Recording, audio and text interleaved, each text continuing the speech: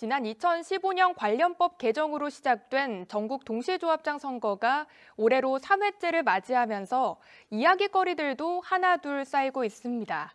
이번 선거를 더욱 재밌게 만들 관전 포인트들을 김지우 기자가 소개합니다.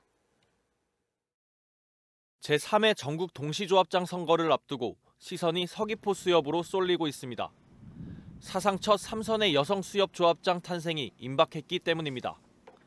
주인공은 금녀의 벽을 허물고 전국 최초의 여성 수협 조합장이 된 김미자 조합장.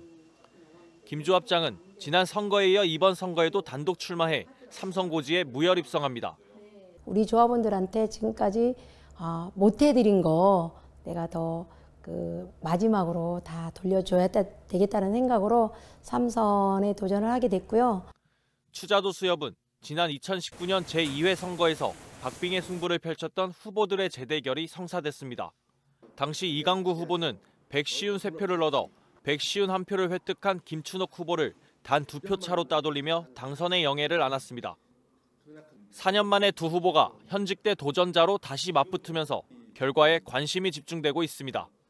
우리 조합원이 마음 놓고 어, 조업에 임할 수 있도록 수협의 역할을 강화하고 어민들의 마음을 누구보다도 더 잘하기 때문에 에, 어민들의 질, 삶의 질을 향상시키기 위해서 도내 32개 조합 중 29곳에서 현직 조합장이 연임을 노립니다. 지난 선거에선 현직 조합장 19명이 도전장을 내 9명만이 자리를 지켰습니다.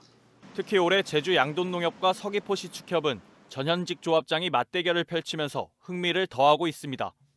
조천농협과 김영농협, 중문농협에서는 사선 조합장이 나올지도 관심사입니다. 이번 선거는 다음 달 8일 치러지며 공식 선거 운동은 투표 전날까지 진행됩니다. KCTV 뉴스 김지우입니다.